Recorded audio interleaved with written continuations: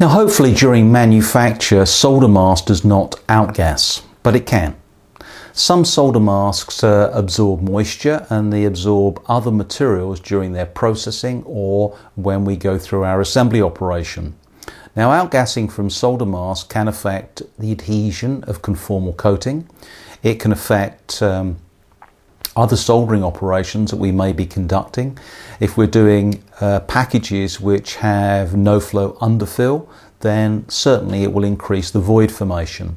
It would also include, increase the floating of packages within uh, a reflow process. Now, if you're looking at using underfill, traditional underfill, as a process, then removing the moisture first from the surface of the resist is also important to prevent void formation.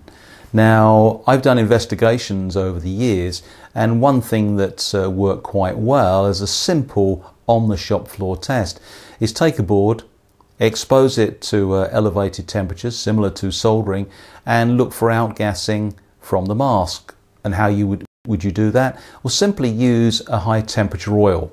You put the oil on a selected position on the PCB and watch for outgassing. And if you see bubbles forming in the oil, that means something is coming out from the surface. You can't really analyze it, but you know it's there. So that may be the cause of a particular problem you have in your assembly process.